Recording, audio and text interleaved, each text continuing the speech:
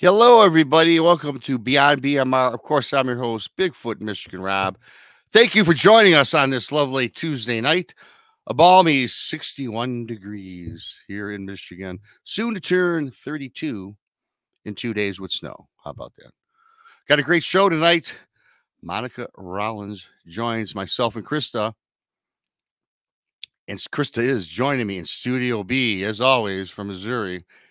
Beyond BMR goes beyond the mysteries of the world. We're taking on a deep dive with Bigfoot, Dogman, aliens, alien abduction, the paranormal, time travel. How do all these things come full circle? I believe they do. Find out here. If this is your first time here, please subscribe to Bigfoot Michigan Rob on YouTube, the Blondes and the Boos Paranormal Podcast on YouTube, and of course, Texas Front Porch found on YouTube. Wednesday nights, Bart Nunnelly and Humanoids. Wednesday nights, nine o'clock. Check out Bart and Letitia and the girls. They do a fantastic job over there. If you like our content, want to help support our channels, the super chat's open. It's a great way to show your love. Thank you so much. And of course, if you want to become a BMR pirate for the low price of $2.99, reoccurring charges on your credit card, $2.99. You get a little picture of me with my bandana. How about that? 55 members and growing. So thanks for that. Also, I want to thank all you guys once again for coming in. And um, got to scroll up here a little bit. I want to thank everybody about my book. You all know it by now. Bigfoot Michigan Rob presents True Cryptid Encounters, Book One, found on Amazon. The link is pinned in the chat. You can also find it on my YouTube channel. So thanks for that. If you've bought it already, when Amazon comes calling, do me a favor. Leave a review. It's all analytics these days, and it does help promote sales. Book two is coming out end of spring, early June. And I'm also working on a third book all about my weird and strange life from five years old into my current age. And I'm not going to give out my current age as of now, but uh, maybe later I will. You can find that in the book. So thanks for that. Also, June 7th and 8th, Alabama Bigfoot Conference speaker lineup. Well, first we got Tex Weston as the master of ceremonies. Barton Nunnelly, Daryl Denton, the Blondes and the Boos, Jason McLean, Greg Ogles, Martin Groves, and yours truly, BMR. Tickets $30 online, 35 at the door. That's at the Anniston Performing Arts Center again in Alabama. June 7th is the meet and greet. It's already booked, but we will not turn you away. It's a restaurant. Come hang with us. They have some good times a day prior to the conference, which, of course, kicks off on the 8th. So, as I said, we have got a great show in store for you. Thanks for everybody for coming in. And I'm going to bring up Krista, making sure she's ready back there. Yeah, she's got a smile. She gave me the nod. How are you? What's up? How you doing? I've been doing. It's Tuesday. It's better than Monday. Tuesday's always better than Monday. Heck yeah, it is. You were talking about your weather. It's uh my computer says 67. It was 81 on my way home from work. And it's supposed to get down to 27 tonight. So that's that's like that's stupid crazy. That's stupid crazy. And like I said, 66. It hit 71 today, and then in two days, 30 degrees and snow. But you know, it's February in Michigan and Michigan's weather and again, you know, I always talk about Michigan weather. It sucks. It's it's up and down and it's crazy. It's all mm-hmm. over the place. So I hear you. Missouri used to be that way, but I'll tell you what, we haven't had hardly much snow or nothing. It's it's weird. It's been a weird winter. I I shoveled once this year. I don't have a snowblower yeah. because the last several winters I haven't needed it, so I don't pull it out. Yeah, it's so, crazy, isn't it? It's crazy yeah, it is crazy, and I want to thank once again everybody for coming on in. They're just starting to pour on in, and uh, thanks for that. And again, we got a great guest tonight. I'm not going to uh, waste any more time speaking about the weather. Sounds good. I'm going to bring up Monica. Hello. Hello. Hello, Hello Monica. Hello. I, you know, I just noticed our paranormal world that's yeah. going to be another featured show coming up pretty soon, eh? With uh, the Texas Front Porch Group, I guess. Yeah, I'm on his platform. I think um, co-hosts are going to switch out as you you're available.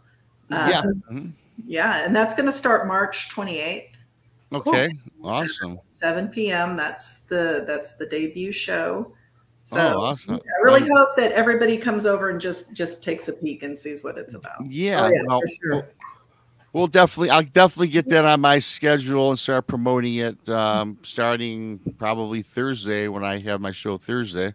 Yep. So yeah, just give me the time, and that's going to be on. A, a- a- is it going to be? Have you decided on a day, a specific day, to Mhm. lock into already? It's Thursdays at uh yeah, Thursdays at 7 Central. Excellent. That's a good time. So, so eight for me, eight o'clock in East for me. Good. Yep. It's before my bedtime, so that's awesome. Oh, and she goes off, Blondes and Boos comes on. So there That's you right. go. Well, yes, they do. You know, and speaking of that, Krista, Mondays is Texas Front Porch, 8 to 11. First hour is Daniel Diva, and Tex takes over with Brandy. They talk what they talk about cryptids, the paranormal, and such. Tuesdays is this show, Beyond BMR, 9 o'clock in the East. Wednesdays, uh, Barton Nunnelly in Humanoids, 9 o'clock in the East. Thursdays, Brunch with Bigfoot Michigan Rob, 1 o'clock in the East. Then Thursday night, the Blondes and the Boos Paranormal Podcast, 9 o'clock in the East. And then you got more woo. If you want some woo with the booze, you get them Friday. They back it up an hour to 8, 8 o'clock in the East.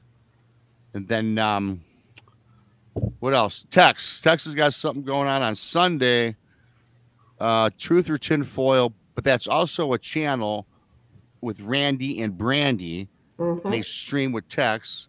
That's I believe at five in the east, and then uh, Tex right after that does his uh, infamous minds. That's true true crime.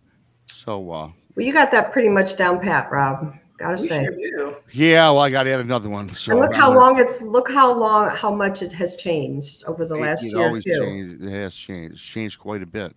We haven't though. Neither of you. No, I've been doing Tuesday nights for a year, and Yeah. I've been doing Thursday nights for two years. Yeah, we've been doing Yeah, so Thursday. I don't Friday. change. The only day off is when I have no internet. I get a storm or Thanksgiving because the Thursday shows is always Thanksgiving, and I take off Thanksgiving. Sure. Yep. Yeah. Sure do. So, so Monica, again, welcome to the platform. Welcome to the show. And uh, you sent me a cool bio. Monica's bio is awesome. It's in the uh, description of this show.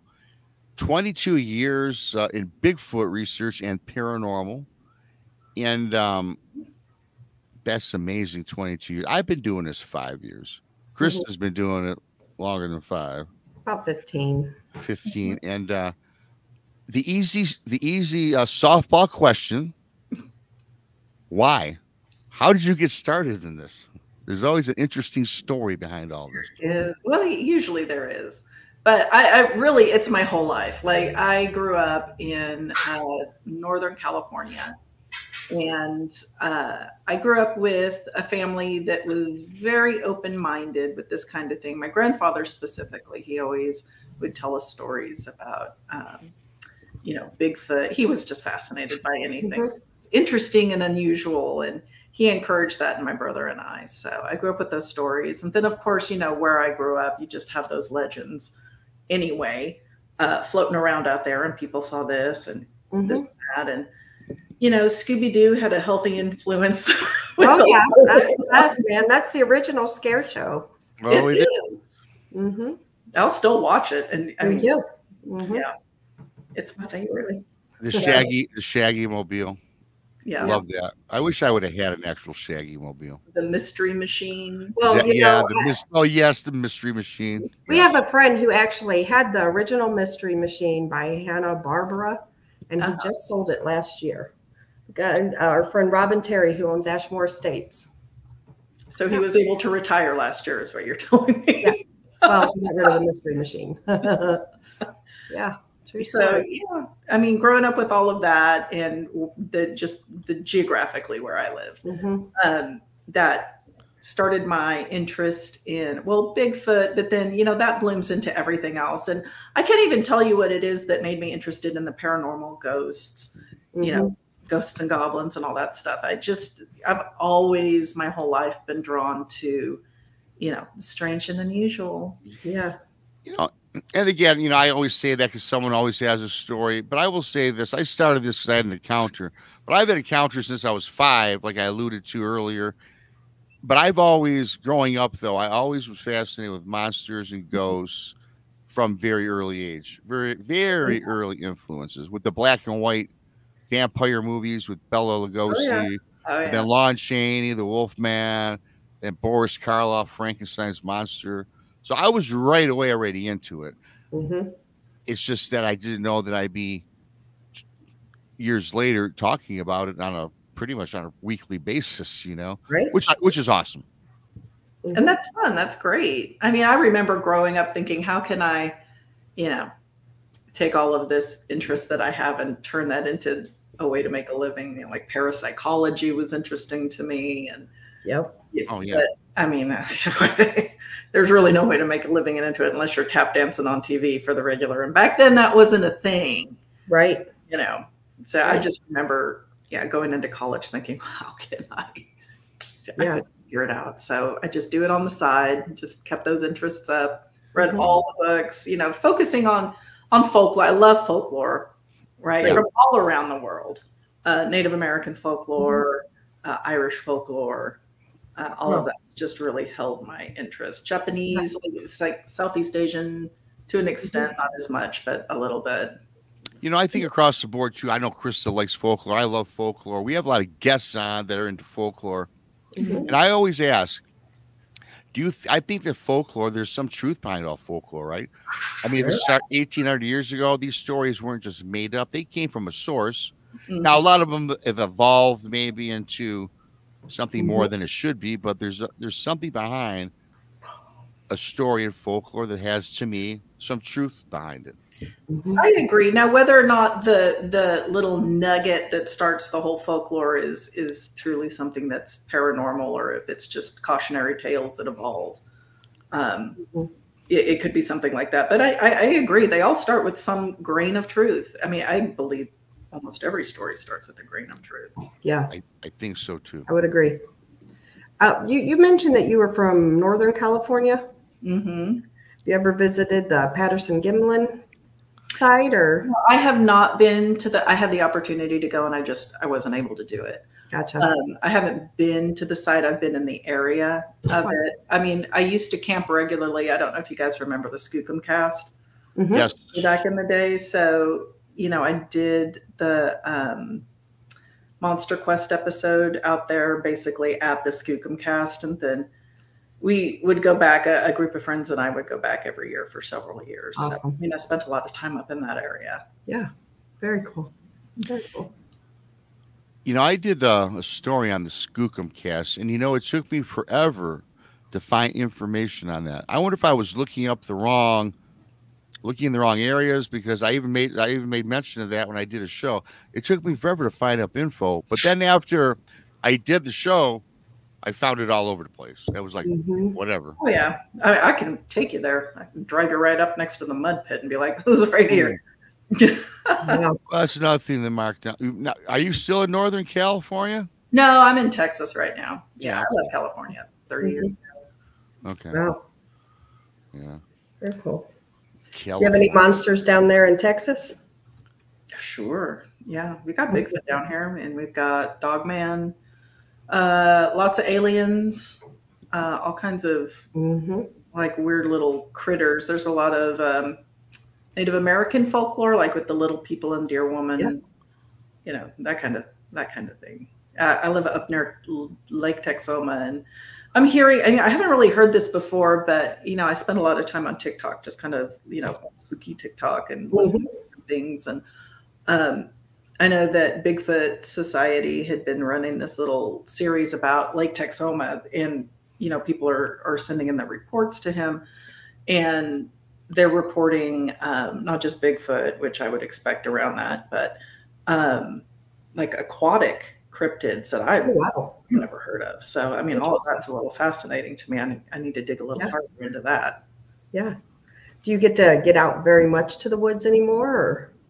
Um, I do when I can. Um, the last several years, work has just been pounding me. I don't have as much time as I used to to get out. Uh, but we, I mean, my husband's into the research as well, so we get out as awesome. much as we can.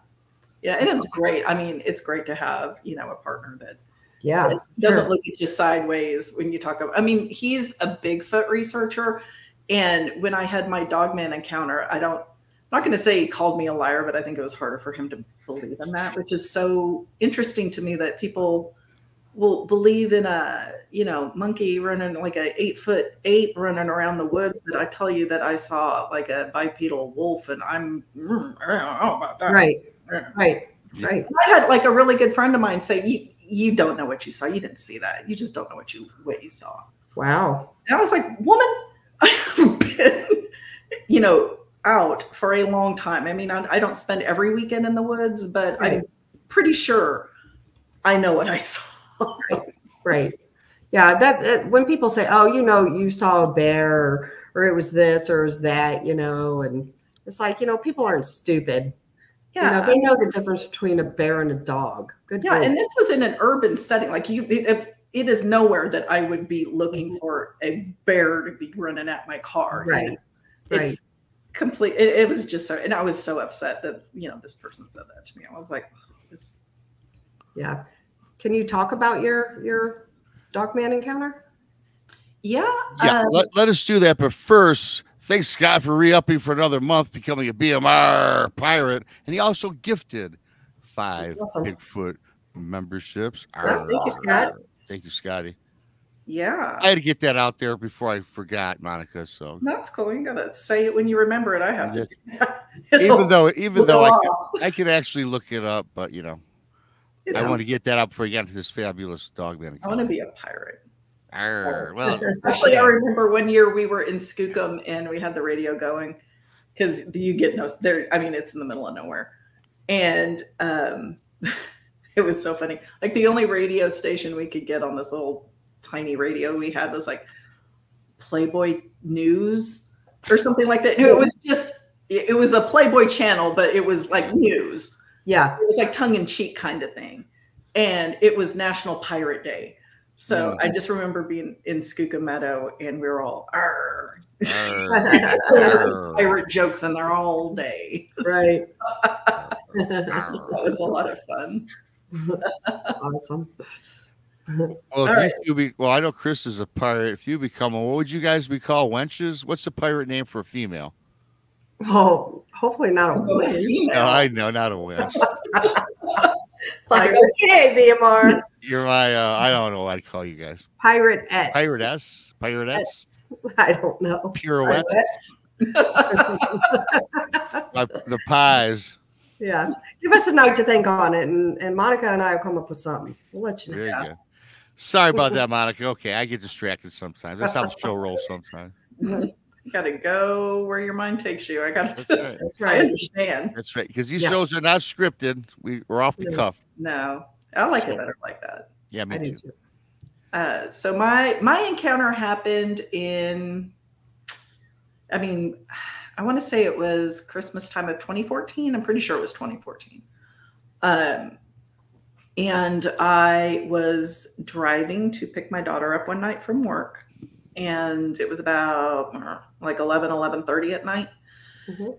and it happened in like the most unusual place like nowhere you would ever expect to see something like this because when i say it was urban i mean it was inside of dallas city limits it was urban mm-hmm. but it was in a fairly affluent part of the city where there are larger estates and a lot of woods and creeks and i had turned down a side street um, that dead ends into the place that my daughter was employed at the time.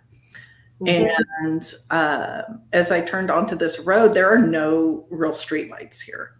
And like I said, there's there's sizable estates, you know, on either side of me, and there is one single one single street light. Maybe I'm really bad at distance, mm-hmm. maybe 30 yards down the road. And as I turned, I hadn't even really started picking up speed yet. I saw movement off to the side, right? And it, it, was kind of low to the ground and, you know, loping like a dog mm-hmm. running. So I was thinking, oh, shit, there's a dog running into the road in front of right. me. Right. So I didn't really lay on the gas because the trajectory, it was coming towards the front of my car. So I'm just slowing down. And then the dog's direction turns. And as it's getting closer, it starts, instead of running, it starts like almost like bounding, like hopping kind of. And I'm thinking that's really weird. And it's it's fast. And it ends up landing, like hopping high, and then it lands uh, maybe 15 feet from my passenger side of the car. Wow. And it lands in like what I call a runner stance. So it lands with one arm kind of down and one arm up, like it's like balancing as it lands. And I'm turning to look at it, and the entire time, the closer it gets, this this sense of um, like dread and evil, like it, it's very hard to describe because I have never experienced anything else Mhm. in my life, and it's just this overwhelming wave of just evil and danger, like danger, Right. evil, danger, danger, danger, and it's coming out of nowhere. And at first, I'm thinking, you know, it's a dog, but it's it's so hard to describe this intense feeling that was just Mhm. aimed at me. Sure. And when it landed, I'm turning to look at it, and inside my mind, I'm thinking, you know, I'm looking, and I can clearly see what it is at this point. point, and I'm like, don't look directly at it. You can't unsee that. Then my mind is telling me, like, you can't unsee that. You can't unsee that. Like, do you want to look at that? You know what you know what this is, but you can't unsee it if you look like in its eyes. And I just remember it landed, like I said, in the runner stance, and then I I can't remember if it put its arm down all the way or started to lower its arm, but I remember it was kind of half crouching, and as my car was coming by, it lowered itself to look into my passenger's window, Mhm. and it just like was looking right at me, just followed me as Mm. I rode by. Didn't move its body, but it was turning its head, like kind of watching me drive by. Yeah. And And it- this was up by the side of your car. It was probably 10, 15 feet. Like Okay. 15 feet, I would Yeah. say. Close enough. Yeah, that's pretty Oh close. yeah, yeah, Mhm. Yeah. And um, I snapped out of it and, you know, slammed on the gas and just took off. Because at that point, I had never really gained speed because I'm only like, I don't know, 20 feet from the turn. Like, I'm not far down this road. hmm and I just, like I said, I snapped out of it, slammed on the gas, and took off. I ran every stop sign there was from there to the end of the road where my daughter's place of employment was. And I, I can't remember if I screamed or not, but I remember I was terrified from that just evil danger feeling that I was getting, what I saw. And then I'm thinking, you know, I couldn't look in the rearview mirror because at any moment I was convinced I was going to feel this thing like jump on the back. Oh, of for car. sure. Wow. And I'm thinking there are no street lights out. Like it is dark over where I am. And I'm Yeah. they're going to find my car like crashed on the side of the road. There's going to be blood everywhere. Nobody's going to know what happened. Like I was terrified. Sure. And I remember pulling up into the parking lot where my daughter worked, and I turned around and you know had the car facing the direction I had just come, this street. And Mhm. I'm thinking, is it going to follow me? Is it going to chase me? Like, am I going to see this like werewolf, like dog man thing, like come walking out of this residential neighbor? Like, Wow. and then I also remember getting home and I'm worrying the whole way home. I would not drive back down that way. We took like the long way around to get home.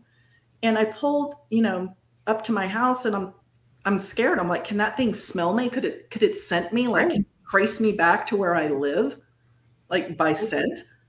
And I I had a lot of questions. And at that point, I used to run at night because, you know, Texas Mhm. and I tried to go running like not long after that. Like I was so shocked and scared. Like Mhm. I was afraid to walk from my car to my back door for the longest. time. Wow. And when I did get up the courage to go running at night, um, I, I, I got about halfway through my route and I had to turn around and like I just went home because every like leaf scratching across the pavement, every rustle in the bush, I was convinced this thing was going to pop out of the bushes at me. Wow. And what's interesting though is, you know, I'm terrified. Like I'm scared. I'm scared to walk to my back door. I'm scared to go running in my neighborhood at night. But about six months after that, I had like a group camping trip with a bunch of friends at the Skookum Meadows place, right? Clearly, we're up in the mountains. trees everywhere, very, you know, remote. I wasn't, that, that didn't scare me. I wasn't scared walking around the woods at night there, but I was scared running through my neighborhood because I had Wow. this in an urban Right. Yeah. Did you know what it was when you first saw it? Yeah. Yeah. You did. I, I mean, it wasn't like curious. I didn't think it was like they look like werewolves, Mhm. and that's like what you think in your mind because I mean, it looked, you know, it had the the snout. The snout wasn't super long, but it was definitely extended. Mhm. It had the pointy ears. I remember Oh, yeah. the. I remember the street light was shining on it, so I remember like the the light around the finer hair or fur, or Yeah. whatever you call it, and I remember it had like like the hyena hump on the back of its neck. Oh yeah. Oh wow. Yeah. And like I couldn't tell you about its legs because I don't remember it ever like stood up and or Mhm. its hands because I wasn't like looking at that. But I remember like just I remember I remember the snout, the ears, the the light on the hair, and the the kind of hump on Wow. back. Wow. How scary. That is scary, and that's kind of typical, and that's why I love doing shows like this because the data to me is important. in A lot of these instances, I've had I fielded reports from a lot of people and, and seen other shows where a lot of them talk about these dog men or, or running up alongside their Mhm. car, and I I fielded a couple where they had the same thing. And the reason I asked how far where it was, I had a guy who telling me that he was doing maybe 20 miles an hour down a dirt road and he's seen this wolf in the back of his car on, on all fours start running at him. He says from the back and it was gaining speed. And he says, That is the biggest wolf I've ever seen. And then he lost sight of it out of his rear view mirror. And he's like, Oh, well, cool, or whatever. But he wasn't scared because he figured it was just an oversized wolf. Right. And all of a sudden, he sees this thing on the side of its car on four legs. And then it kind of got up on two legs running.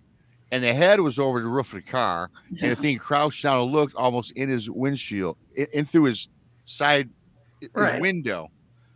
And he says, the creepiest thing was, and you know, this is kind of an, maybe it's impossible. I've never noticed it with dogs. He said the thing smiled at him, a sinister like smile. Can you imagine? It had a snout. Can you imagine how it curled No. up? He said it curled up, looked really odd, Mhm. And he almost felt like the thing told him he could get him, Wow. but he Kind of like a mind speak thing. kind of like Yeah. that. tell- Yeah. And then the guy just floored it. The thing kept up with him for a little bit, and then it just trailed off into the wood line and disappeared into the woods.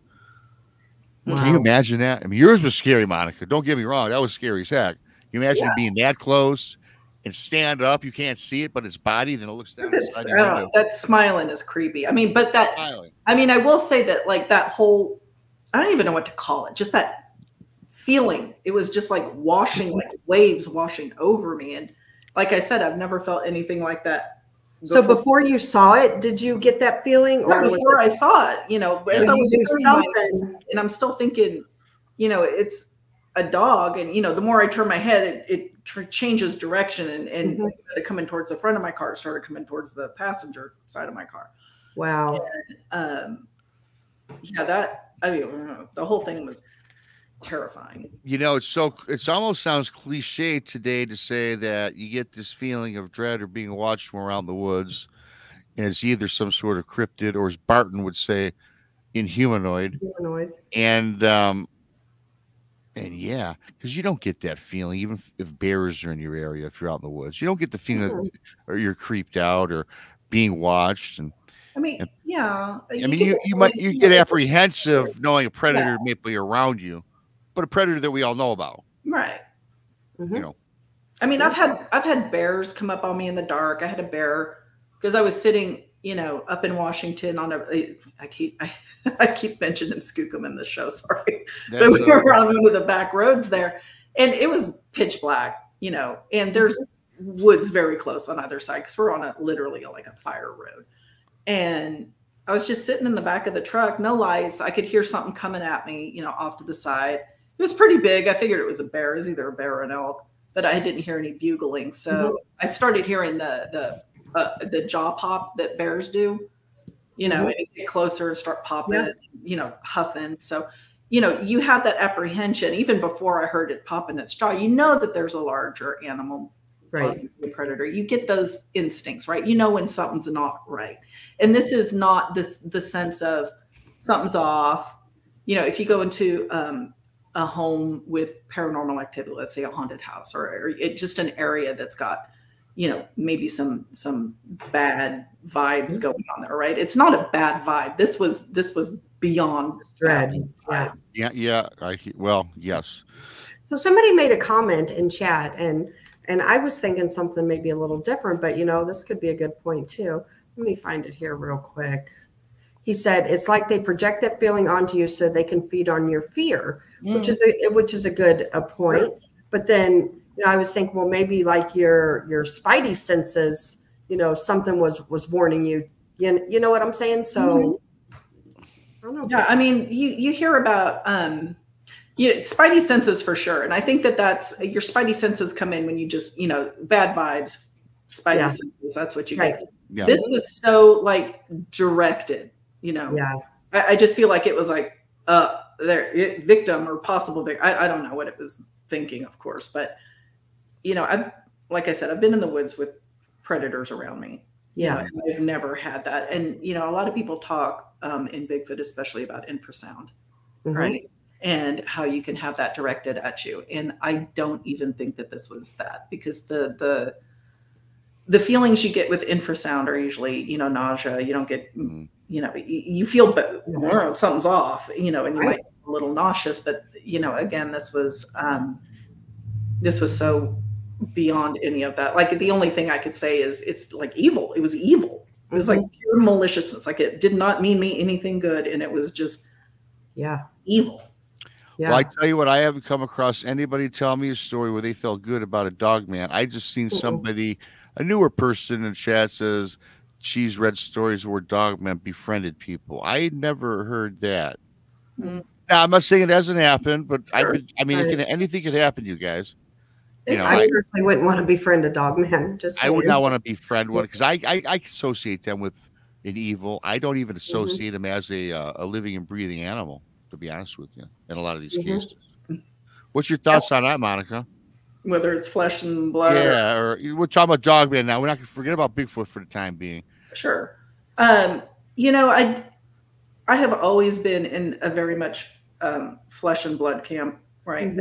There has to be some um, biological behind it. But this thing that I saw, I, I don't I don't know what to think. Like I really don't. I I, I don't know what to, to think now. I don't really necessarily believe in portals. You know, I don't think that, you know, cryptids are, you know, Oh. Monica, we're gonna have to know. talk. We're gonna I have to know, but. I mean, but with this experience, where did this come from? I'm in the middle of Dallas, you know. I mean, yes, I'm in a suburb with creeks and rivers and all that, but you know, something that large, I just really have a hard time believing it would be navigating that terrain unnoticed.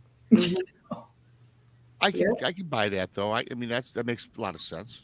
Mhm. It does. A lot of sense. Yep. Yeah, I, I don't know. You know, you're talking about, you know, you're you live around Dallas and I've been through Dallas. That's a big city. I live outside of St. Louis and there's I've heard of a dog man encounter down by the St. Louis Arch and it's very populated and you know, so I don't believe that they are just in the woods or, you know, I believe they're in the suburbs and our cities too. Yeah, I have a friend who's like, you know, you you were in a pretty affluent area, and he believes uh, wholeheartedly that you know some of the more uh, people with generational wealth, let's say, are involved in some practices that could be pulling things into this dimension, Sure. you know, for their own purposes, and this thing either got loose or they set it loose or something like that. You know, He's Right. 100% believing, and I. I can't. I, can't- I mean, I mean, I guess that's possible. Mm-hmm. Yeah, absolutely. There's some scary stuff out there and don't have to There be is. just in our woods, you know? There is. We don't, and we just we got. I'll have you on at some other times, and I'll now that you're part of the clan, the clan, I'll be talking with you. But I think that um, you know when it comes to dog, I do believe in portals. I do believe in a quantum theory with a lot of a lot of things out there. But I also can believe this though. I can believe that a dog man is a flesh and blood creature, but it's taken over by something demonic. Like you Mhm. heard about the devil dog. You've heard about what's the other um, what's the other dog? Hounds of Hell or uh, the dog. Know, like What is it? Cerberus and Hounds of Hell. like that. Yeah. Son of Syphili. Now I don't even know what I don't even want to go there. You know what that is? I can't say that I have heard that. I'm not going to speak on it right now because I don't have my facts together. Mhm. But I think, yeah, I think they can be a lot of everything. Just like I think Mhm. Sasquatch or Bigfoot. You know, you have First Nations people that talk about Sasquatch being a, a- a spirit of the forest, right? Mm. And then you have people saying they're all flesh and blood. I'm in both. I'm in the camp that they're flesh and blood, but I think that there's something supernatural about them as well. You know what I saw again, just like like you're talking about your encounter. What I saw, there was something going on there because I didn't get hit with infrasound. I got hit with something where I lost like everything. Time stood still. I, I saw my vision turn from color to black and white. I could not move. I was paralyzed. Hmm. And someone said, "Rob, that was infrasound." Well, I tell you what, if that was infrasound, they they jacked it up about a thousand, you know, megabytes or whatever Right? because so. But I've heard the stories about people riding horses getting nauseous with with a Bigfoot around or a dog man. So Yeah. Well, yours, what you've seen, it was, you know, yours was kind of, I just you, you say it, but like on the woo side, you know, It because it did kinda was. morph into something that, Yeah. I don't know if you ever heard my story, and I'm not going to bore. Well, I'm not going to say my story, but my story, it looked like a human being, a weird human, and then all of a sudden it trans, it, tra- it metamorphoses. And I don't want to get into this on my show. I want you to talk about your stuff. I'll just show you this right quick. Boom. That's uh, Oh. the one on the left's what I saw. This is done by Sibylla Irwin. I love This is not 93% accurate. The one on the left is what I saw initially. And then the one on then the same guy, when he decides to yell, roar, and scream, it metamorphoses to the one on the right. And you can notice a big difference there. Mhm. Holy Yeah. moly, it looks like a vampire. Yeah, Yeah. see, so that ain't no Bigfoot. Mhm. Yeah. One on the left looks like a, a a human kind of in a way. You know, it reminds me of uh, the good guy from Goonies with the off. Yeah. You know, I mean, Yeah. yeah. So, but yeah, that's what I saw in 2018. Oh my goodness. Yeah, and that's kind of why I'm doing this today. You know, Sure. and I was like, didn't know who I was for a while when I saw that. Mm-hmm. Yeah, that's something. Like, That's so I'm good. always the confused one still when it when we debate flesh and blood, paranormal, dimensional. I mean, the uh, best I can say is I don't know because I can see both camps, right? I can Right. see the logic on both sides. Yeah, there are some things that are, you know, a little extreme for me, but again, if you experience something, I'm not going to tell you that you didn't. Absolutely. Right. You know, That's where we're at too. Yeah. That's why I love these shows because I don't care what your beliefs are. We s- we'll talk about it and, and everybody learns. You know, this is kind of like a learning channel for everybody. And just I like Bart, just like the girls, like Tex. It's all about learning. Mhm. And I suspect our paranormal world debuting March 28th will be this kind of around the same the same thing, right? Yeah. I just want to talk. I want to, I, I mean, I love hearing other people's stories, right? Yep. And it took me a long time to tell that dogman story because, like, you know, I've been in, in research for a long time and I have a reputation of being very sane and very, you know, level headed and rational in my thought. And, you know, people come to me when they want advice because they know I'm going to be honest and level headed and just be mm-hmm. truthful. And that story, especially with the reaction, the first person I told was my friend who was like, Oh, you don't know what you saw. You, you didn't see that. You know, it really upset me. And then my husband telling me, Well, okay. Like, Mhm. you know, he, he didn't call me a liar, but he wasn't like, Oh my gosh, tell me more. You know, like I want to hear all Right. about it. You know, whereas, you know, my my best friend up in Ohio, when I told her and her husband, they flipped out. They were like, "Holy cow!" Like, if you told us you saw that, you saw that. I mean, that's Yeah. you know, that's that's Yeah. probably would have been a little more vocal about it if that I had gotten that reaction at first. But the first two people I tell that are close to me are kind of, yeah, okay, yeah, you Right. know. And then the reputation I had, I just I didn't tell anybody. I told maybe you know just a handful of people, and I was like, yeah, I didn't want everybody to know because I'm thinking nobody's gonna believe me. That sounds cuckoo. Are you? Yeah, Right, you know. But here, if you would have said, "Well, I saw a Bigfoot," it might have been Oh, more yeah. accepted. You know? Yeah. Yeah. yeah and that's just the thing you know we've all been through this that have had these experiences and i says who do i tell you know who do i not tell i didn't tell anybody for a long time Right. because quite frankly my story is crazy what happened Mhm. that's why i say i take everyone's stories and Yeah. I haven't walked in their shoes like we talked about earlier Yeah. because you weren't there Yeah. Yeah. Now, that I- really changed my mind because I mean, like I said, in the earlier days of my research, I was critical of Yeah. reports. I would try to debunk you no matter what you said. I was trying to catch you in something. I mean, you know, I was I was mm-hmm.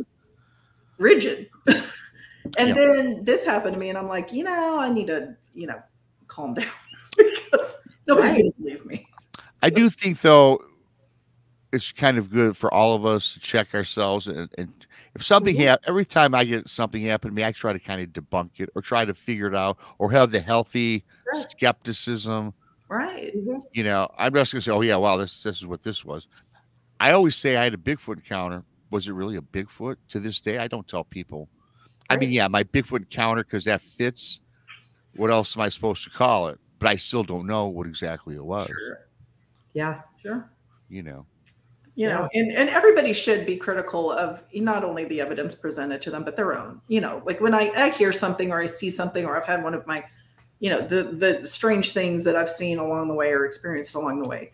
I mean mm-hmm. you have to be rational right? You have to be like well what else could it be? Like could it be this? Could it be that? I don't know. If you don't know you don't know. Don't try to force it into a box it doesn't belong in. Right. it's the big thing too. Wow. Yeah.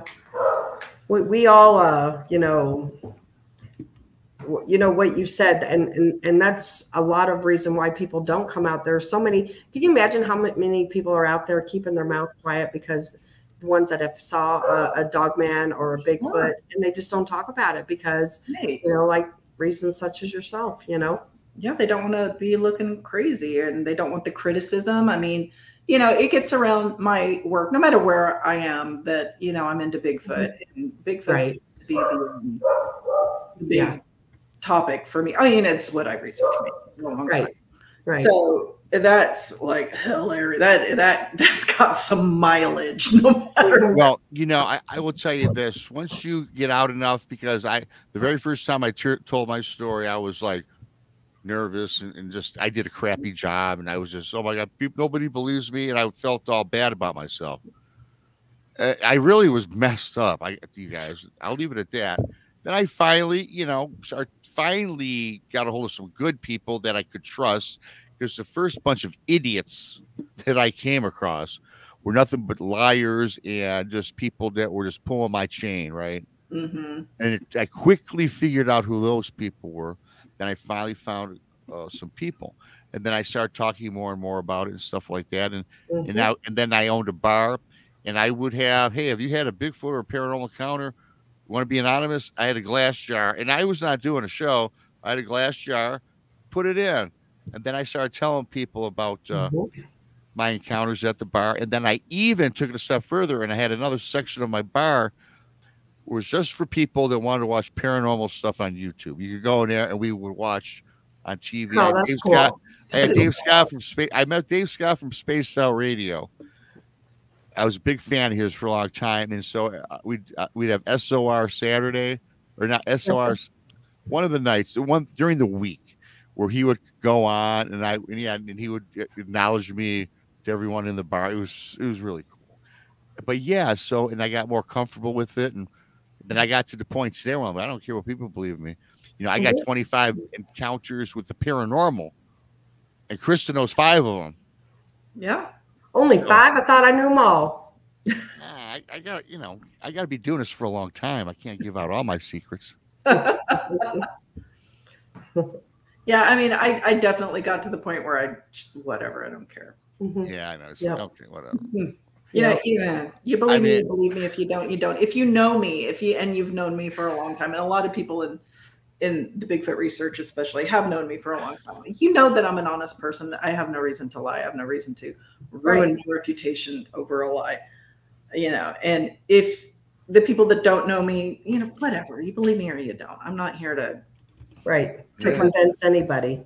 yeah i mean just like you know when my Yeah, show you know when our paranormal world starts uh going i just i really want to be a place for people to just share Mhm. what they're feeling because i'm i'm not going to judge you and, and i feel like the more people share the more comfortable everybody becomes you know Absolutely. normalize it and people aren't af- as afraid to Mhm. come forward and talk about it because talking about it is such oh my goodness it's such a release It's, you know it's therapy.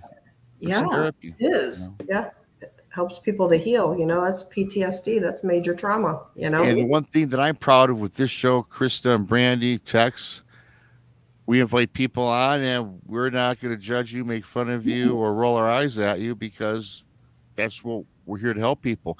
Because I tell you, the reason, the honest reason why I do this today is for helping others because I was lost and alone and no one helped me. And that was a dark place that I ended up walking into. Mhm. And I never want to have that feeling in my mind, in my soul ever again. Yeah. Or you just feel that you're an outcast. right Right. That's terrible. You know what, though, BMR? It's probably actually you may not realize it, but helped you to do this too. It does. It yeah, because I can empathize with people. I know where a lot of people are coming from. You know, I put out that book, and that was from encounter stories I've gotten over the last couple of years from people that didn't want to come on the show, but they wanted to have something therapeutic. You know, and and a lot of people are like that. A guy Mhm. just in chat said it took him 23 years before he came forward, if I read that correct. So, but yeah, And that's sad, you know, to keep Yeah. that hidden for that long, you know. absolutely. So. Yeah. Wow. So anyway, yeah, that was the dog. man. Anything else with the dog man, Monica? Was that really the first real? Was that the incident? that was that well, i mean yeah that That was the one. That's yeah. yeah. You started out right at the top there. yeah i mean i had you know obviously at that point been pretty heavily immersed into bigfoot and Yeah. dogman was starting to become more well known and I'd, I'd heard about it for years obviously and i'm just you know in my mind i'm like oh they're misidentifying bear they're misidentifying bigfoot they're you know it can't be what they're saying it is but then more and more stories were coming forward and there were youtube channels that were coming on dedicated to stories about this and the more i'm listening to other people's encounters i'm thinking well maybe there is more to it so i started to pivot away from bigfoot and towards dogman and then this happened and i'm like well yeah Yeah. Yeah, I was reading your bio that you sent me that one for the for the thumbnail, and you started out in big 22 years. You've been doing Bigfoot research with cryptids and paranormal. Let's say Bigfoot was your first true, I guess, Mhm. love. I guess if that's the, the correct word. Yeah, really, paranormal was my first true love, but I got just really well known for Bigfoot because when I joined the TBRC and started getting out there to all the conferences, and then when Rick Noll approached me to be on Monster Quest, that kind of really pushed that for me. Okay. Yeah. But my whole life has been, I, I would say it's mostly paranormal focused. Like from a younger age, it was it was ghosts and that kind of thing, hauntings. Um, and Bigfoot's just what I'm known for more. Mhm. But I've had, you know, the paranormal my whole life. I've seen things my whole life. You know, you see the Yeah. shadow people. I've seen that my whole life. You know, Mhm. um, I've had ghost encounters. I live in a haunted house. We have a ghost dog running around here. And Krista knows that I'm biting my tongue because I do this like a lot. I'm not going to do it today. We'll have to talk because I, Krista, what I can resonate with a lot of things she's saying, right? With what I've had. Mhm. I know. and my and my pe- my audience are probably sick of hearing it. But yeah, I I'm right there with you, and um, and I think it set me on this path. And I do believe. Let me ask you this: If you have an experience at a younger age, you think you're more open to other experiences as life goes forward? I think yes. If you have an experience at a younger age and you keep an open mind with that experience, Mhm. that you maybe your mind doesn't close off as much as you age or you know maybe you had that experience when you were younger because you're just wired to be more susceptible to that Mhm. right and if you if you keep the interest in it and don't just close your mind to it then yeah you're gonna i, I just feel like your frequency is gonna attract right Sure. what's, what's around you and, and if you're not shutting that frequency down Yeah. then Again, that's something I learned from you guys, all the girls. Frequencies, vibrations, and intentions. Mm-hmm. That's it. I mean, intentions are a little difficult because you you you have intentions that you are not cognitive of, Yeah, and that can that can happen too. you can't. know if your intention is to go into the woods and conjure up the devil, that ain't good. Well, that's pretty. That's a pretty serious intention. But I mean, you can have underlying like you're you have a stress day, you've got a lower vibration going on. That's Mhm. I agree with that. And even if your intention is just go find Bigfoot, I- you know, I talk to people. One time in the woods, they encountered a Bigfoot. They Mhm. weren't looking for the Bigfoot, much like I was not either. Mhm. And there are people out there that are researchers that have been doing this 10, 15, 20 years. Uh, But I think, like you say, though, they, in their mind, they their intention is to find Bigfoot. They're running on that low vibration, Mhm. right? So they don't see them. A lot of them. Great. Mhm. And that's why a lot of these guys, and I, I've come across this, 20 years, never seen a Bigfoot. Yeah, they've seen a footprint or the, the, the traditional the traditional evidence, but they're like, well, I don't believe you saw that. I've been doing this for 20 years, son. There's just no way your first time out you saw one. Mhm. I mean, come on. You know, old man, you know, turn around and, you know, go home. You Yeah. you know. I'll say, you know, Let's- going out and looking for Bigfoot is when I've had some of my, uh, the bulk of my encounters as an adult that were not Bigfoot related because I've really never had anything Bigfoot related. But I mean, when I'm out doing that research is when I've heard the whispering right in the dark, the whispering, um, Wow. seeing the the shadows coming. I, this is something I have to Mm-hmm. explain. It's Yeah. and I've seen this one time in Dallas coming across. the- Monica, my, Mhm. 10 second break. Randy, we got to take our 10 second break here. Everybody subscribe. Bigfoot Michigan Rob, the Blondes and Boos Paranormal Podcast. Tex's Front Porch, Barton, Nunnelly, and Humanoids. And thank you. Love you all.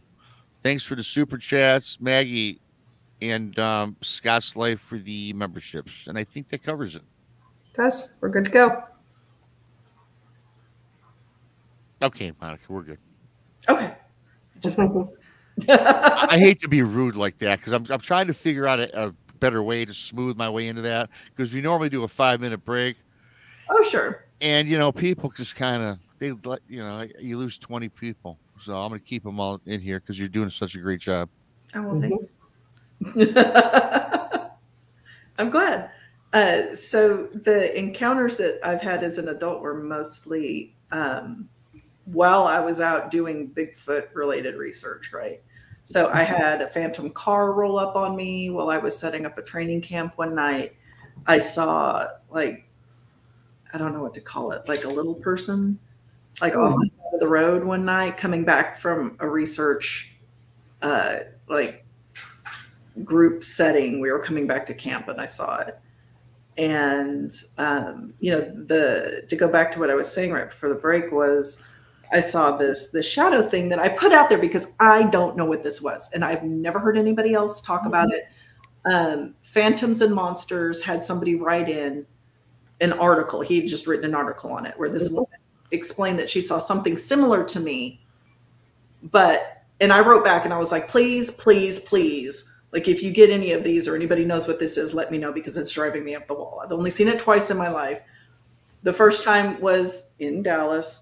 I was driving down a freeway and I saw again something coming towards the road. And I'm thinking, it's oh my God, it's a black dog. It's gonna get hit by a car. Like I'm freaking out. because I'm some pretty serious highway I'm going down. Mhm. And there weren't a ton of cars. It was kind of dusk. And it's coming like at a steady clip, steady clip, like just like this. It's moving about this fast.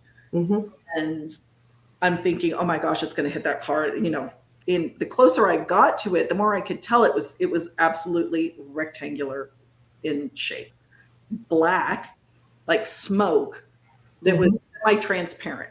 Like when it was in the grass, it looked opaque because the grass was behind it, and it's Right. but as it's coming towards the car in front of me, and that's what I thought it was going to hit, like it was going to, you know, run into the car in front of me. It came across the back bumper, and I could see the car in front of me was white, and I had my headlights on. I could see the black or the white bumper through it, you know, so it was semi-translucent, Yeah. perfectly square, you know, almost on the ground, maybe a little bit above the ground, moving at a straight clip, like a very steady pace, just kept going. And I was at Area X in Oklahoma doing um, a sizzle reel for a TV show. And one of those things I heard rustling in the brush, same time of day, dusk. This same thing came out of the woods from the left, crossed the path in front of me, almost hit my hu- my husband's foot because he was a few paces ahead of me, and kept going. Same thing, could semi-translucent, blackish smoke color, absolutely rectangular, never stop, never slow down, always going at the same pace. How big do you think it was? It was probably like two and a half feet by, oh no, I, I mean, I don't, yeah, about two and a half feet by maybe 10 inches. I don't know. I mean, it was, it was rectangular. Right. So God. it, and you know, I, I don't know what it is. Like, Right. and Right. it's unnerving. I was like, what do you do when you see something like, I don't know what that is. Right. And then that same night, though, that I saw it in the woods up in X, uh, my husband and I were stationed at this old cabin, and we were sitting on the front porch, um, lights out, completely black, uh, inside of an area that had a bear fence. Right, so we were sitting inside the bear fence on the front porch of this old shack, and I kept hearing um, this whispering noise, and my husband I don't know, forgot something at the main camp. So he left me there, right, to go grab it. It's like a 10 minute walk there and back. So I was there alone for about 20 minutes. And I could start hearing whispering. And it sounded like at least three people. Wow. And they were, I mean, my mind's eye, you know, I'm sitting in the dark, so I'm imagining what this is Mhm. it's like three people they're clearly people having a conversation but it's just far enough away or muffled to where i can't make out the words Mhm. they're maybe down in the corner of this property not far from me maybe 20 yards Mhm. but it's it's you know pitch black i'm hearing this i mean you can hear I already think that's creepy, and you just did it cutely, but I thought that's creepy. Yeah, it, it is. Yeah, it was creepy. And I mean, I'm sitting there alone, pitch black, middle of the forest, you know, thinking, I go, what is going on? like, are there witches here? Are there witches in the corner of this? place? Right. That's immediately what came into my mind. Wow. And um, I, I'm just thinking, like, why am I hearing this? I mean, that whole weekend was full of just weirdness and in a place that we've gone repeatedly, right? For research, Area X was a big place for the for the Mhm. TRC at the time. And well, there, you know, people claim to have had, you know, different Bigfoot encounters there. There was nothing like this. And I had never encountered anything like this before then or since then in that area, which was just crazy. You know, but again, you know, I'm out there specifically for Bigfoot research, but I've got all this other paranormal stuff going on around me. Oh Yeah. yeah, Wow. That's that's some weird stuff. That- that's Ah. Can you talk about the phantom car? Yeah. yeah, that one is it- it's not really scary, it's just bizarre. So, um out in East Texas, uh, the, you know, when I was with the TBRC, we would uh, do training camps, and I was in charge of the training camps of that. So my friend Melissa and I had headed out there from Dallas. It's like a three or four hour drive to where we were holding this camp. Mhm. And um, the area that we were holding at, this campground has like a main leg with where everybody camps and there's a lake, you know.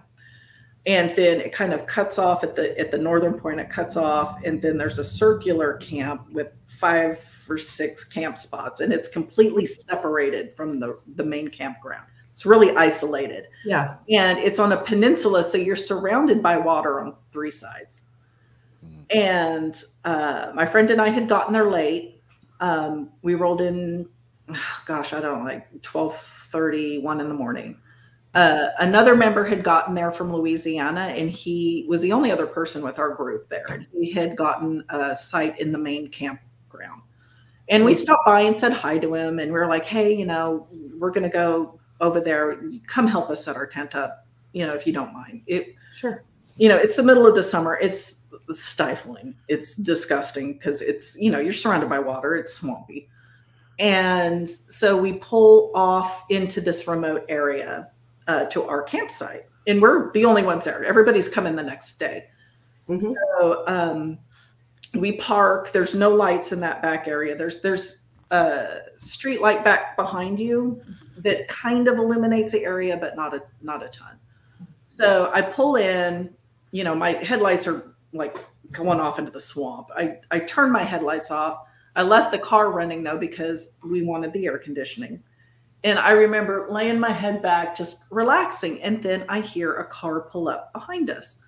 And i hear the gravel of the parking space that we're in crunching under tires. You know i open my eyes my friend sitting next to me. The whole inside of my car is completely illuminated you know because there's a car pulling up behind me. Mhm. and I look in my side mirror and I see a perfectly round headlight, you know, with the car pulling up. Mhm. And then the car engine cuts and I see the light in the headlight go out, but it's like an incandescent light where it goes out and you see the filament for a minute and then it burns down. doesn't even dawn on me. The headlights don't do that anymore. Right. remember telling my friend, I was like, uh, you know, he could have waited a minute because I wanted to enjoy the air. Like I didn't want to get out. And I was like, goodness, like I did, he could have waited. I don't want to get out. And she's like, I agree. So we, I open my door and I, I start walking to the back of my car and she's getting out too. There is nobody behind me. There is nothing behind me. There's nothing. Wow. and I stand like kind of by the trunk and I'm looking across at her and I'm like, you you saw that right? Like I wasn't hallucinating. like you saw that right. And she said, Yeah, yeah, I saw it and I heard it, and the whole inside of the car was lit lit up. Like Wow. there's something behind us. That's pretty cool though. Yeah. So I got back in the car and I was like, okay, I'm kind of sketched out here. you know, Yeah. because I've got to set up a tent and sleep in a tent. There's a phantom car rolling around here. Like, Right. Right. Man. I- Yeah, that's pretty crazy. that is crazy. yeah, that, That's kind of cool though. I would have been like real intrigued about the car thing. I was intrigued, and I'm thinking, you know, I mean, there's there's been a couple of other things that happened at that specific campground, Mhm. uh, which is a Corps of Engineers campground. So it's not And like that- was that and what uh, state was that again? I'm sorry. in Texas. It's in Texas, East yeah, Texas, yeah. East- real East- close to the yeah, border. of Yeah, course. Yeah, of course, East Texas. yeah, Mhm. swampy. Yeah. Swampy. Uh, Yeah. it's in the big thicket for sure. But I'm thinking, you know, this place is has got a lot of like creep fat. Like it's creepy. It is creepy anyway. Like Yeah. I, I at one point I couldn't get in the gate. Like we were, I had some people camping in there. Like, and I was thinking I couldn't get the the arms to raise. It was after hours, so I was like, I'll just park my truck here and I'll walk. You know, it's like what three quarters of a mm-hmm. mile, so half a mile. Glenn Dannison is wondering what make and model year the car was. She's in the lights, Glenn. Oh yeah, that that place is creepy. I've had something follow me, like shadow me in the wood line at night. Oh yeah, yeah. That drives me. That's- nuts. That's that's That creepy. drives you. Yeah. I, yeah, that's not cool. I mean, I've had it happen. I had it happen to me when I was younger up in Oregon because I'd spend my summers in uh, Southwest Oregon. You know, in um, Douglas County, in a pretty you know rural area, and my cousins and I would go running at night, and we we called it the highway just because it was the only like asphalt road in the area, but it was by no means a highway. And uh, we'd run to this bridge and back because we knew it was exactly a mile to the bridge and a mile back to the house. We could, you know, keep track Mhm. of how far we were going. And at one point, like I was, I was done. I'm, I'm not athletic like my cousin was. She could run eight miles, and you know, I Mhm. ran a mile and was like, "Oh, I'm gonna die. You know, so I was not, I was not having a good time right then. And on the way back, we she was kind and she was walking next to me, and there was something like trailing us, tracking us, like keeping Oh, pace wow. up the hill in the tree line. We couldn't really see it. And um, we'd stop, it'd stop, we'd walk, it'd walk. My cousin, you know, and uh, of course she could have been right. It could have been a bear. You Mhm. know, like, oh my God, it's a bear. And she took off running, left me. Left If I don't see a bear stopping when you stop. huh? I don't see a bear stopping when you stop. You know, I don't either, Up in the know. woods. Especially looking back on it. I mean, at the time I Mm. was like, you know, know, like 15, 14, 15. Um, Wow, sounds like you're lucky, honestly. Because if it was, you know, a bipedal predator, human form or, or You know- any other inhuman form, you know, still and scary. again and, and again the thing too you guys is, is this you know about being followed you know from the wood line from the shadows. You know i a guy was telling me a story about how it was dusky dawn and he was in his car and he was he felt that he was being watched from Mhm. inside his car creeped out right? And and he felt he was being followed. Then he's seen from the wood line these glowing red eyes oh and he's and he's driving 15 20 miles an hour. So he goes i'm getting i'm out of here right? Right. And he could go that fast though because i think at this this particular time was like a, a dirt road and there was a lot of bumps in it and, and ditch and um, holes potholes. So but he said once he got to like 55 60 miles an hour he- finally didn't see it. But lo and behold he's doing 45 or 50 and he sees the red eyes pop up again. And i'm thinking see that's why i always wonder there's no animal that runs 50 miles an hour unless you're a cheetah right in the in the Right. wood in the woods you know you're running through brush you're running through the dense woods and so he's telling me when he gets home and he lives in the woods he lives in like a on a meadow and he's got the tree line and like a horseshoe the next Mm-hmm. night he's on his porch and he saw from the wood line those red eyes this thing followed him home Oh no. That's scary. I mean, so to me, that's something that just can't be. It's something else. Yeah. And that's why I, I'm going to ask you this. I think that when it comes to cryptids, paranormal, ghosts, aliens, I believe all these things are related in some form. Now, no, a ghost is not Bigfoot. I get it.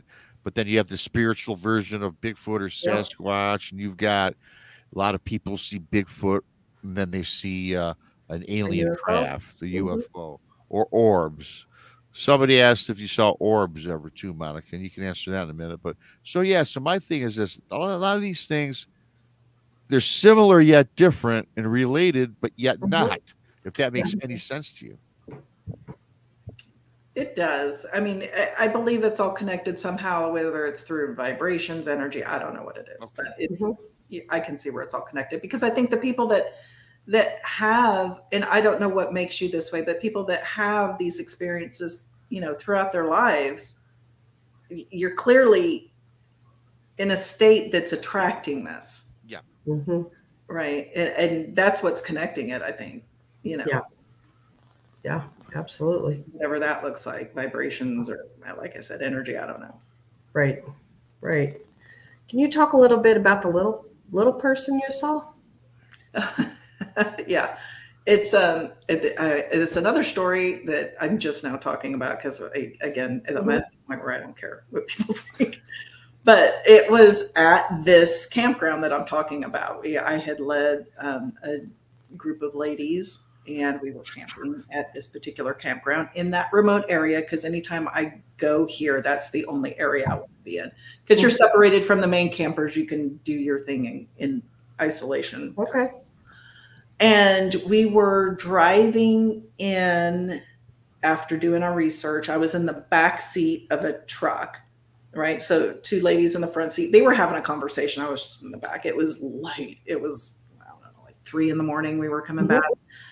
And I'm looking out the side window and I see we were on the stretch because there is a little bit of a road from the main campground over to this isolated one that we stay. Mhm. And I'm looking and there's there's there are lights on the road, you know, back towards the, the main campground and, and just to the edge of the road that takes you to the remote. And I see this this little dude walking you know, in the grass, the separator from, you know, there's the road, the grass, and then the tree line. And he's like closer to the tree line, but walking in the grass, Right. just walking. And he, he looks like, I don't know, like a gnome. He, I don't know how else to, it's an elf, a gnome. and He looks like a, Did he have clothes on? yes, he had clothes on. They were earthy toned clothes, right? Okay. he had a hat on, if I remember correctly, and he had just this, this really mean looking face. Like he did not look friendly. And he didn't acknowledge me, didn't turn and look at me, didn't look at the truck, didn't look at anything. But I'm looking at this, walking along the side of the road. I'm looking again. And then these two ladies are having a conversation. I'm like, Do you see this? And I'm Right. looking, and you know, they didn't they didn't see anything. And yeah. Wow. yeah. And so we get back to camp. I go into my um, SUV because that's where I was sleeping. I, I didn't bother with the tent. I just slept in the back of it. I think I had an Xterra at the time. And I was the first campsite that you would come to on that road, right? If you're coming into camp. And I'm thinking, of course I am. So I got into bed and I just prayed I would one fall asleep quickly, two not have to get up and have to go to the bathroom in the middle of the night because I was afraid. I was afraid that I would wake up and there'd be this ugly because it did not have a friendly, nice looking face. There would be this ugly face looking in the window at me. Right. And all I could think of, and this is so funny, I could think of that little thing from Cat's Eye. Have you seen Stephen King's Cat's Eye? Oh yeah. The little goblin that Mhm. is Oh yeah. Okay. throughout the film, like that, but taller. And it, it creeped me out. It creeped me out so much. Sure. I was just like, please, please, I'm going to hold it. I'm going to get, you know, I am not going to the bathroom. Please let me stay asleep until the sun comes up. How far away from your camp was it? Where was your I don't sighting? wasn't that far. I mean, I would be lying if I gave you a distance. I mean, it wasn't far. It was, it's a little, like kind of a gooseneck road. Wow. from the end of the um, the main camp area over around into where we camp. So maybe eighth of a mile. You know, it wasn't that far. Yeah. Wow. Interesting. And those gnomes, there's so many things, there's so many topics, there's so many things we can talk Mhm. about. And I was talking to this fellow again, you know, I get these emails, and there's a story about a guy talking about the gnomes, Mhm. Garden, near garden gnomes, and he had these gnomes in his yard for forever, four or five years. He had like four or five little statues, like a lot of people do. And he never moved them around. He always had them in the same spot. Never moved them, never changed them. He might have moved them around if he redid some gardening, he pulled weeds, you know, basic things like that. He had no kids or nothing. Mhm. And then he was in the forest and he had thought, much much like you, Monica, he saw some little guy and he Mhm. told me he was like dressed in like possum skin. It was, it was like it was like a little two foot, three foot guy, but dressed in like squirrel fur, like Mhm. zip, zip, zip, you know, Right. zipping across the road. Stop, looked at him, said it kind of scowled, and, and he's like, "Okay." I'm like, "Wow, okay, that's pretty interesting." And then he said, "Wouldn't you know it? When I got home, all of his gnomes were all rearranged. Mhm. You know, Oh, that's creepy. I mean, you know what I mean? I mean." yeah, yeah, mm, nah. And the reason I said he had no kids because my first thought was, well, you must have kids. Right.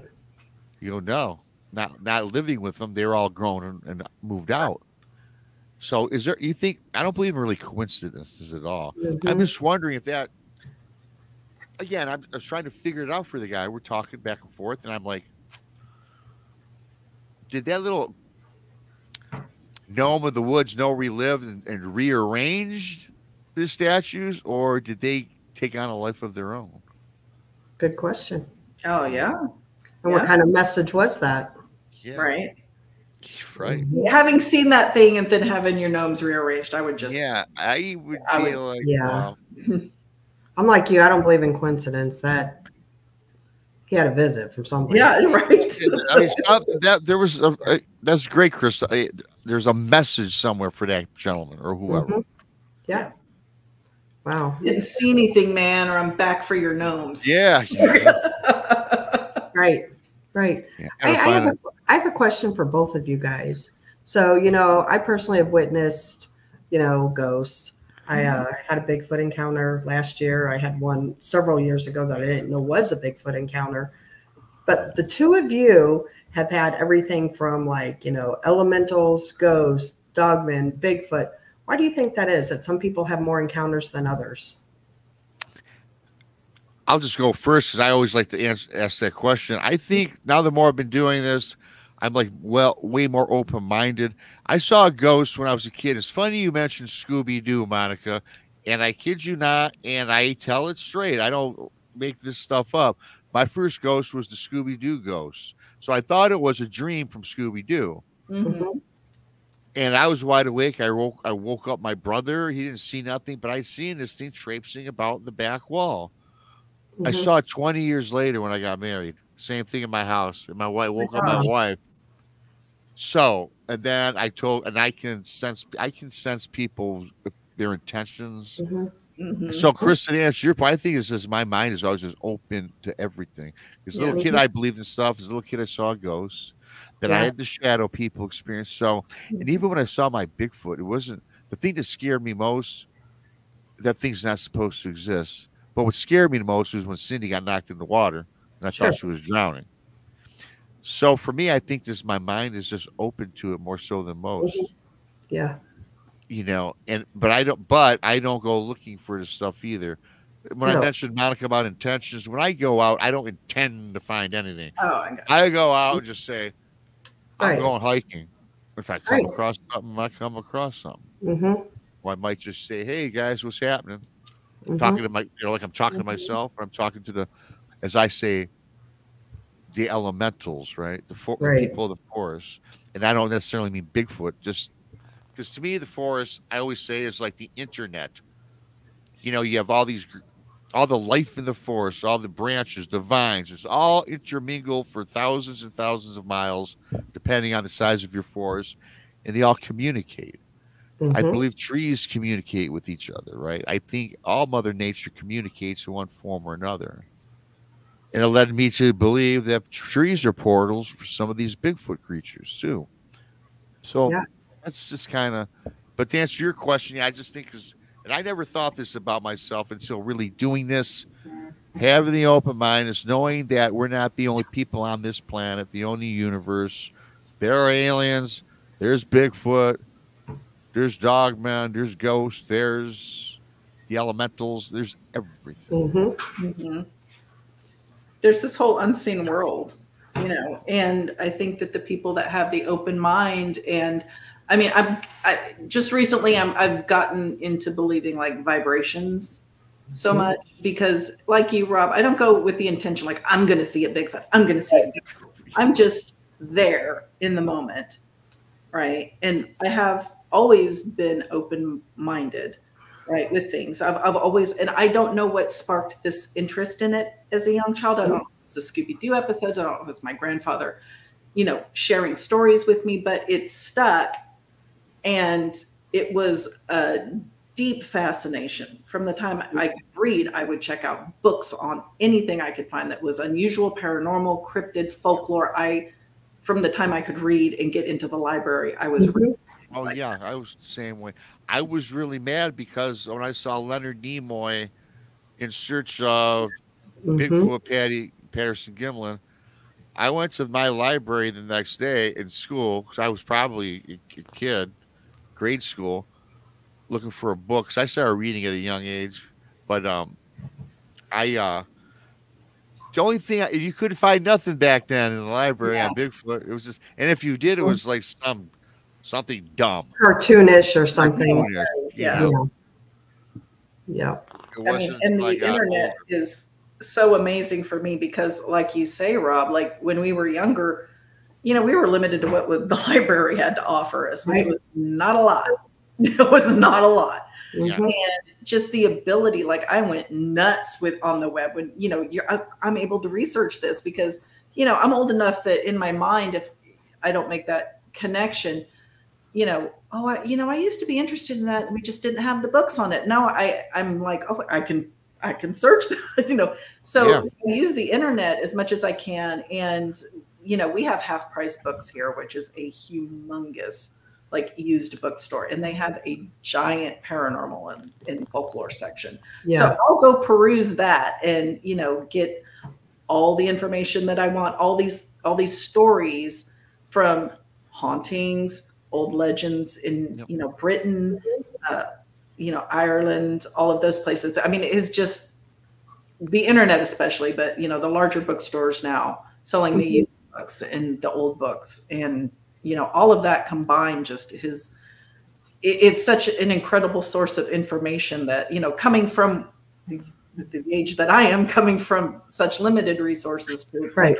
You just being available now i go nuts i love it i love it You know, but you know, really bummed me out about going to college was everything, every paper I had to research. Now, don't get me wrong, I liked doing research, reading books, using microfiche. Remember the card catalog? At the- I went to U of M, right? Mm-hmm. And then I had to type all my papers. And would you know, it, the year I graduate, the this thing called the internet where all these kids now they got so easy man doing their research when we actually had to do the work yeah Mhm. but i think we're better off because of it because we actually had to read this stuff and look it up yes half these kids probably cut and Right. paste That's you had true. to be resourceful too like you had to depend on yourself to get the information where Yeah. And we didn't have Google. no no we had a um index card library which was Right. so much or an encyclopedia. i think they came out with the word processor right before i graduated because i paid i didn't pay my mom did it for me. I had i would send i would mail because i my mom lived i lived in ann arbor for a while well my last two years. I would physically either ride because it's only 52 minutes from back and forth. I would literally take all my papers drop them off at my mom's i'd go party on the week and expect my mom to type them and she could not use whiteout either if there was whiteout i made her retype it oh Rob. no i didn't taskmaster you No. Yeah. but we were paid but we, okay monica you probably paid people i i sucked at typing Mhm. now I i'm can great type at it pretty fast i can type like i don't know like i'm good at it now Yeah. without back when you're 20 18 19 22 years old i didn't type I was Yeah. typing. I was twelve, but that's i that's i Yeah. worst upon me. my It was the good old year typewriters back then, you know. Yeah. hey, hey, listen, everybody. My senior year of high school, and I already got into school, so I didn't care, and I had enough credits to graduate. I failed typing. Did you really? How do you feel I, typing? I got a D. I really got a D. what did you do? Nothing. I never went to class. That's My la- I never went to class. I just yeah. okay, that was, yeah, okay, that will do it. because I could sign. I was the age majority, so I could sign myself out at eighteen. So I skipped that dumb class because I took it because I thought there'd be nice looking girls in It it. didn't even dawn on me when I was in high school because I was 18 the last half of my senior year. yeah, that's funny. but yeah. So, Wow. but anyway, Monica has a few questions for her. Oh, okay. yeah. You know, Uh, Right away. River Morris asks, question for Monica from Down Under. Have you seen orbs? I have seen orbs, like actual lights up in the trees orbs, Mhm. not the things that people film in houses that are probably dust particles. I have seen, um, I'm trying to think, I don't think I've seen them in the Pacific Northwest. I did see an orb in Colorado. And this is really weird because we were in the South San Juan Wilderness area. I had taken a group of guys um, dispersed camping. We were hiking through the outback up in the mountains there we were at a pretty decent altitude too but anyway we were we had our camp in a valley and we would go up into the hills or the mountains or it's colorado Mhm. they were mountains uh, at night and we'd look down on the camp because we you know try to make it seem like somebody was in camp seeing if anything would come investigate All right. So um, my husband and I were on one camp. A group of friends were further down in another. And we see a red light just come down the trail, hmm come into our camp, and then just kind of meander through the tents and then blink out. And we at first thought it was one of the guys from the other hmm just you know giving up the ghost and coming in for the night because we'd use red lights. No we all you know were on the radios when it was time to quit. Everybody was accounted for. Like nobody had come into camper. We could not figure out what that light Mhm. was. And in east texas i have seen orbs up in the trees and you know these are 50 60 feet up they're not fireflies because if you've ever encountered a firefly i mean very Yeah, definitely tell the difference. yeah, they blink in and out, and they're Right. not large. These were solid lights, not emanating a ton of light, but definitely Right. um, up in the tops of the trees, which was fascinating. I have no idea, like what. Yeah. Yeah, I know what you're talking about with the orbs because uh, we we saw them one time at the Land Between the Lakes, and it was the middle of winter. We were the only ones out there. Nobody Mhm. was walking around the woods at that time, and that wasn't. There was like ten or twelve of us there, and it wasn't just one or two of us saw them. We all saw them all evening long, in and out, different Right. sizes, different colors. So That's Oh, that interesting. yeah, that was that was real. That was an interesting night for sure. So I've seen the. I don't know if this counts as an orb, but I've seen the Bragg Road ghost light. That was Oh, it. wow. That was because you know, no matter how close you got to it, this is what was fascinating. No matter how close you got to it, it Mhm. stayed the same size and it would get smaller and bigger and smaller and bigger and it would kind of move from side to side Mhm. but then it would just blink out Wow. and when i saw it i was i was at first thinking because i don't know if you're familiar with bragg road here in texas but it's a pretty straight dirt Gotcha. road okay. it's got the old you know dude with the lantern ghost story behind it Sure. Right. and um, I had gone there with my husband one night, and it was late. It was after a storm. I remember it had been raining, and it was maybe 11, 12 at night, which is late for us. And I remember when we turned onto Bragg Road, it, it's a dirt road, and there were no other tracks, like because it had just rained, so it was pretty smooth. And so we go down almost all the way to the end, and um, we had our young son with us at the time. He was getting fussy, and I was like, "Yeah, "It's time to go. Let's go." So Right. we turn around and come back, and I only see our tire tracks coming coming in, right? Mhm. And I'm looking, and I'm like, "This light looks like a motorcycle coming at us," and it's getting bigger and smaller. And the closer we got to it, my son started freaking out more. Interesting Yeah. and um, it got bigger, bigger, bigger, smaller. No matter how my husband accelerated going towards it, stayed the same size, and then blinked out. And we were maybe, you know, three fourths of the way down back to the end of the road so we could go home. Yeah. And I'm looking because there are residences off of this road, right? And I'm as we're passing them by, I'm looking to see is there tire tracks Sure. motorcycle, you know, to be coming in? Am I seeing footprints? You know, because we're not going so fast that I'm going to miss something like that. You just can't in the mud. Mhm. And there was nothing. There was just our tracks. And we got to the paved road and nothing. You know, Wow. so I, I really feel that that was the ghost light at Bragg Road. Mhm. Wow. That's interesting. Mhm. Uh, William Bays asks Monica, does your family have a psychic history? Yes. And yeah, I mean, if you speak on my mother's side, I would say that that Mhm. they feel very strongly that that they have intuition, right? And I believe that everybody does. You know, Mhm. it's just whether or not you pay attention to it and Right. you know encourage it and develop it. Mhm. Um, I have felt, and this sounds really weird, but I have felt death. I can like if death is nearby, I can feel it. Mhm. And I had a friend pass away a couple of years ago, and I leading up to his death, which was a sudden death. by the way. Mhm. He had a heart attack on the job site and just didn't make it.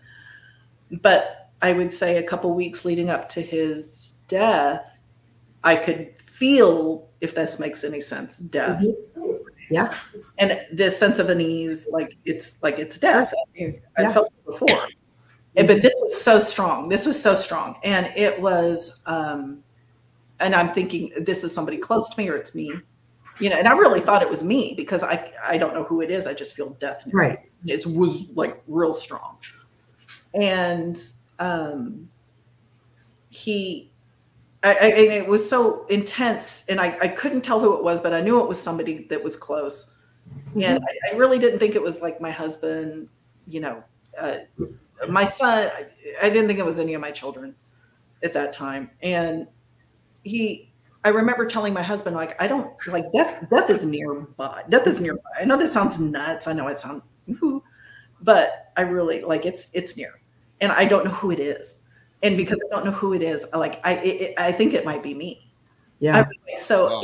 I gave him a whole list. I was like, I just want you to know that you know, I want you to tell my son Lucas. I was like, tell him you love him every day, encourage him in everything he does, remind him of me, like show him mm-hmm. pictures of me, tell remind him that I loved him more than anything. You know, like I'm giving my husband's instruction to like for how I want my child to be raised. Right. Because I think it's me. hmm The night that I sent him this long text message explaining that to him, the next morning is when my friend died on the on a job site, like just had a heart attack. Wow. And Yeah. so I, I, I believe that our family has something, I, I, but I believe everybody does. I really do. I believe everybody has that, and it's just whether you pay attention to that intuition. I agree. Yeah. Intuition. Yep. It is.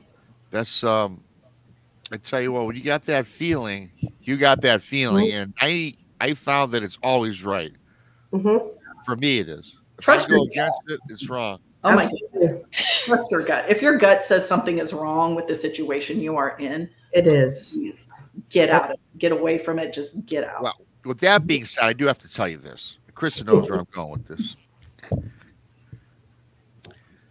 When I was five or six years old, okay, I could always I could pick out kids that I liked, I thought were good or bad, good or bad, or that I would like. hmm this kid Jimmy, fifth or sixth grade, and I was a five or six year old. And I told my mom and dad I thought he was evil. Mhm. My mom and dad, what five or six year old says the word evil? At least not back when I was growing up. You didn't Right. use that word. Right. What are you talking about? Evil? You know, my dad. What are you talking about? Evil? I don't, I don't like him. Well, don't play with him. Well, he lives down the block. He comes over all the time. Blah blah blah. So, never liked the kid. Never liked him at all. As I got a little older, older in middle school, I would tell my friends. And again, Jimmy, I went through five years old, middle grade school, middle school, junior high, high school with this kid Jimmy. And I, as I got older throughout my school my schooling years, I would tell my friends, stay away from Jimmy. He's bad news. Oh, Mhm. Rob, whatever, man. Just leave him alone. I'm, I'm, I'm not, yeah, I am leaving him alone, but don't hang out with him. Right. So they think you're just being whatever you're being. And I did that throughout it, all, all up and through high school. Senior year, we're playing soccer and we had shirts for skins. You know, that's guys, some wore shirts, some Right. off the shirt, blah, blah, blah. I run into Jimmy. I still hate this kid. And I and I don't hate people. But there's something about this kid or I thought he was just an evil dude guy. So we get tangled up and we're rolling around together and our bodies are touching and I got this feeling in my mind that scared me. Like I was touching something evil. hmm I just got I I got goosebumps. It's summertime. I'm sweaty. I'm getting goosebumps. I push my way, get away from this kid. I run away from this kid. Rob, what are you doing? You know the what are you doing? What are you running the opposite way of the of the net for? No, man, I don't know. I just got some mud in my eye or something. Which I told my friends. I got and I told my mom the story throughout my life. I tell my family about this kid and my best friends. I go off to college. I graduate, I come home, and my mom and dad go, You know that kid Jimmy who you would call the evil one? The kid that you didn't like, you had a bad feeling about him? I'm like, Yeah. And then he, my friends then would bring it up later after my mom and dad told me, corroborated the story. Jimmy, Rob, you were right. Jimmy is in prison for murdering his grandmother. Oh my goodness. So right down in there as a little kid, and to this day, I can walk into a mobile gas station, meet you, and in under a minute, I can assess you. Oh yeah. Yeah. Yeah. Very easy. It's very easy for me to do. Mhm, I can read people like books. Yep. Yeah, you are hiding nothing from me. I mhm. You know, I mean, and, and again, I think a lot of people have that, so I don't really think Me I'm too. unique to it. But just like when I owned the bar for 13 years, I didn't even, you know, I certain applications I read, but if I met you, I knew that you wouldn't rip me off, and I tr- and I tried myself against that, where I hired a person that I knew would steal from me, and sure enough, within two weeks they stole from me. yeah. I just Mhm. knew, but I did it as an experiment. Yeah. You know, the way I could com- could feel people. Well, you're reading really the weird. energy, right? It's the energy and the vibrations. Yeah, right? there you go. Keeps your mind open, and that's what draws Yeah. these You know, crazy experiences to you. I really think Yeah. that. Yeah. Mhm. You know, and because again, I, the answer, yeah. Chris's question from way earlier is probably why I can see things as well, ghosts and cryptids. And yeah, I just like believe that. Yeah. I had this one guy. Okay, so there's a story about reading people, right? So I in I lived in this little town in East Texas and I went to the same gas station every day, right? Every day. Coming back from work, I'd have to get gas all the time. My commute was hellacious. And one day they had this new clerk, which normally isn't a big deal. But I remember being parked outside of the gas station looking in, and I see this dude, clearly a new person, no big deal. They, you know, Mhm. employee turnover, whatever. Um, but I remember looking at him and I would, I was like, there's something like he's going to be a problem. Like there, there's something with this dude. There's- Right. Right. But I couldn't put my finger on it, just knowing him. Yeah. But I don't never seen the dude before. I go in, make my purchases, leave. I get home and realize I don't have my wallet on me. Right. And my husband calls up there because it, it was they had just closed by the time I got home Mhm. and he's like the, this clerk answers the phone. This guy i saw through the window. And he said no nobody's nobody's left a wallet. Nobody's you know. Mm. so my husband worked for the police station right? He was a dispatcher. He worked with the police. He was a he was a paramedic. Mhm. he he goes over to the detective and he's like hey my wife's wallet. He goes i'm pretty sure she left it there but this guy's not you know somebody took it. I just want to see who took it. He didn't think it was the clerk but you know clearly Yeah. i just want to make sure this is where my wife's wallet was left Yeah. so the detective goes down there pulls up the footage. Sure enough you see me yapping to the guy. I'm talking friendly to him. There's a guy behind me waiting in mm-hmm. line. I put my wallet down. I'm paying. I walk off. My wallet's on the counter. And the person behind me points it out. And the clerk picks up my wallet looks at it. You can hear him saying oh yeah i know her. Puts it down puts it under the counter goes about his business helps this guy gets him out of the store the guy goes to the back comes back you can see him reaching under where he put my wallet taking it hiding it behind his back and then walking out the back door Oh. so the detective was like, mm, "No, you, we got you, buddy. You, you took that wallet." But I mean, just I mean, it was a whole thing. But you know, But you knew. in that, yeah, I knew something was going to happen. Just looking at him through the window, I just knew it. Yeah. But like Rob, like I can read somebody like you are not hiding anything from me. I'll, I'll be friendly and kind, and you know, I'll Yeah. talk to you and pretend like I don't know what's going on. But trust me, I know. Oh yeah, yeah, I know. I, I, I- I was guilty of smiling at someone, and I'm thinking, "You're such a." rah, rah, rah, rah, rah." Yep. Yeah, I see you. I see you. Mhm. And it just takes talking to him for a few minutes, right? Yep. That's all it does. Yeah. Yeah, Now, Yep. for me, the touching thing that's the only experience that I've ever had my entire life because that we were just rolling around, and I really did feel petrified. Felt, but now for me, it's just talking with somebody Mhm. Mhm. for um, two minute, minute or two. Yeah. it doesn't take long. You know, don't take. Yeah, long. that's me. Just you know, you meet somebody, you you automatically know what kind of person they are. Sometimes, yeah, but sometimes you don't even need to talk to him. You just like, Right.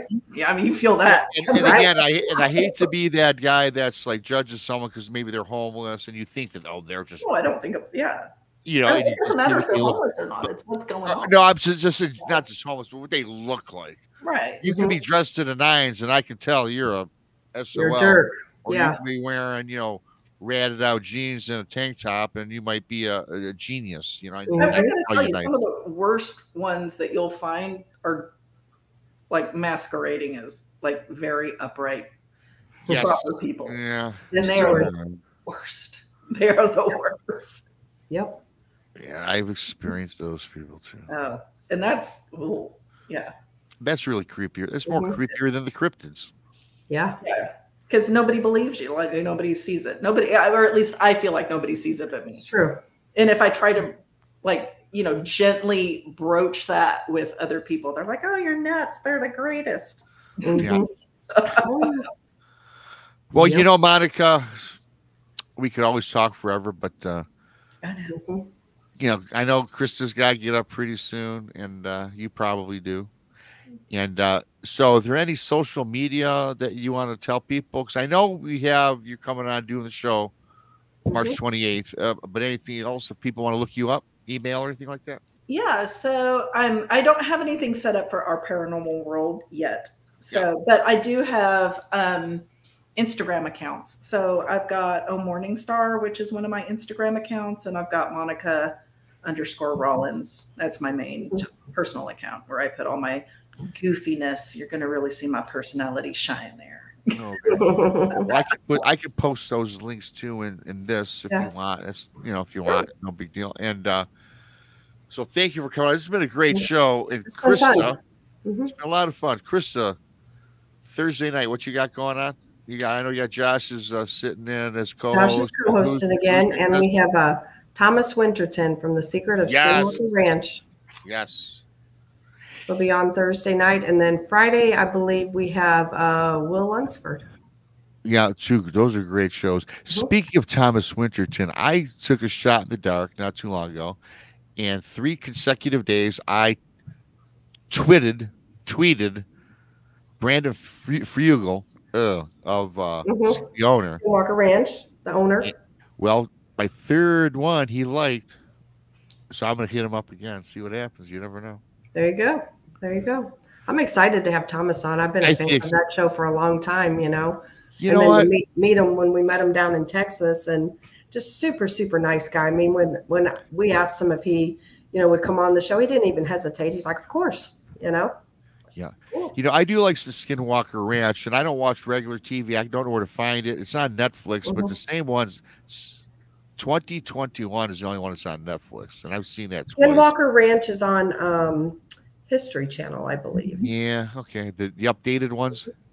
hmm Okay, I maybe think I'll, there's four seasons. Yeah. maybe I'll check it out. Mhm. So thanks for everybody for coming on in. Uh, thank you once again for uh, Maggie for your awesome super chat.